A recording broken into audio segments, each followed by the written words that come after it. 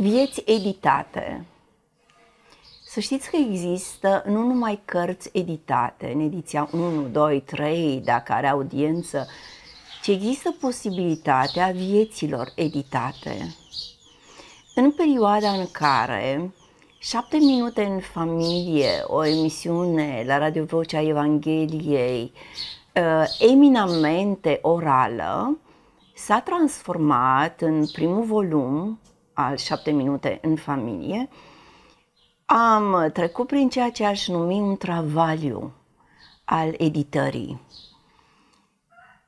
Ne gândeam cum ar fi să o includem pe soacra mea, Ortan Saradu, care este un cărturar și care a avut nenumărați elevi în ale gramaticii. Gramatica ca și matematica pun structură, liniaritate, o rânduială în modul în care scriem și de ce nu, scris organizează gândirea, în modul în care gândim. Când mă gândesc la gramatica pe care o predă Ortan Saradu, mă gândesc și parcă simt ceva din muzica lui Bach, care are frumusețe, dar are structură și are o rânduială absolut miraculoasă. Eu, de multe ori, dacă sunt confundată, pentru că seamăn cu seacra mea, mai bine decât seamănă fiul eu, bărbatul meu, o iau drept un compliment când sunt confundată că sunt fata lui Ortan Saradu, când eu de fapt sunt doar nora ei. Am rugat-o să se ocupe ea de partea asta de editare, pentru că așa de bine le are cu gramatica. Și soacra mea uh, și-a luat rolul foarte în serios, numai că și pentru ea a fost un travaliu. Și de la curiozități de genul uh, erau întrebări pe care nu mi le adresa mie, le adresa fiului ei, dar de fapt cum scrie Ileana? După care a început să introducă uh, pasaje biblice ca referențialitate pentru ceea ce spuneam, după care a sărit dincolo de gramatică sau acorduri gramaticale sau așezarea conjuncțiilor unde le era locul și m-am trezit când am citit și recitit editările ei că de fapt soacra mea a scris o altă carte. Iar când am citit cartea Șapte minute în familie reeditată de soacra mea, am decis ceva curajos, dar în același timp și insolent. Am omis editările ei și cartea s-a publicat fără editările ei, drept care, în momentul în care i-am dus cartea, nu s-a învrednicit de vreo laudă sau de vreo încurajare, era poate chiar cum se cuvenea puțin ofensată. Această poveste mă duce cu gândul la ceea ce noi în psihoterapie numim scriptul familiei, dominanta poveștii de viață într-o familie.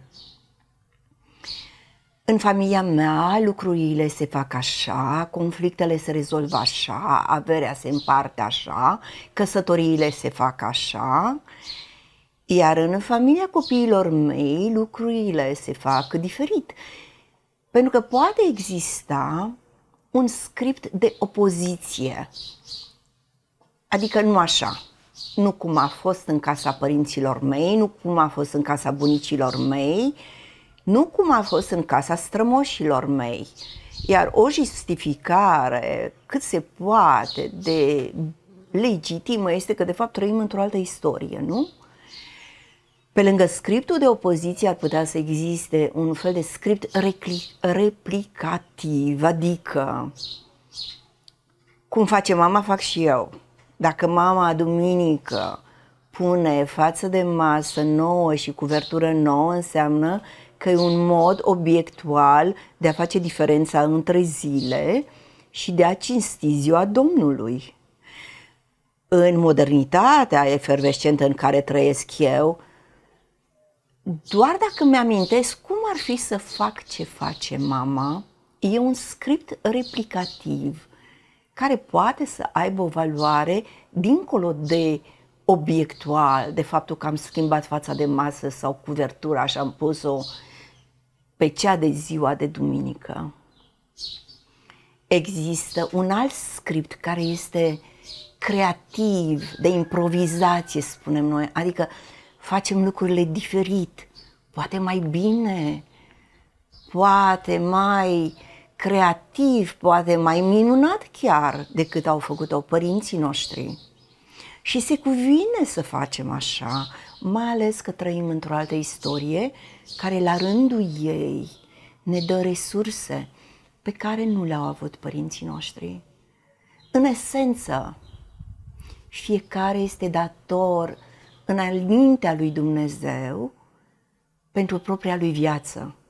Ce face cu propria lui viață, ce face cu propria lui familie. Eu văd în meseria pe care o am de medic și de psihoterapeut cum anumite vieți sunt pur și simplu confiscate. Viața unei tinere familii poate să fie confiscată de faptul că trebuie să se îngrijească de patologia și de dizabilitatea pe care o au părinții și care este foarte naturală la vârste care trec de 70 de ani, după cum zice Scriptura. Iar modul în care ne cinstim, ne onorăm părinții, ne slujim părinții, nu trebuie să treacă cumva această graniță. Să avem loc pentru propria viață, să avem timp pentru propria viață. Același lucru e valabil și în dreptul părinților. Și eu din nou văd cum părinții bunicesc, magistral, buniceala este o valență a familiei absolut extraordinară, ferice de cei care au bunici și mă refer nu numai la copii și la nepoți, ci chiar și la părinții care mai au bunici. Numai că uneori buniceala este scoasă din matcă. Că la 75 de ani probabil că n-ar trebui să faci și babysitting, să aduci și copiii de la școală, să faci și after school, să faci și cumpărăturile, să pregătești și aniversările, ci poate că ar trebui să ai timp și răgaz pentru acea perioadă a vieții tale în care oricum te îndrepți mai mult spre celălalt vad. O editare a vieții noastre, care poate să fie doar pentru anumite capitole. Un anotimp al vieții cere o editare ca pentru acel anotimp. Adică să rămâi o babă valabilă, nu adolescentă plecată de acasă, după cum te porți sau cum te îmbraci. Să fii un tânăr asumat, rezonabil, responsabil și să te porți ca atare, să editezi și să pui în gramatica vieții tale ceea ce se cuvine. Pentru că, în esență, lectura finală o vom face noi. Și o facem noi cu creatorul care este de fapt autorul, marele autor.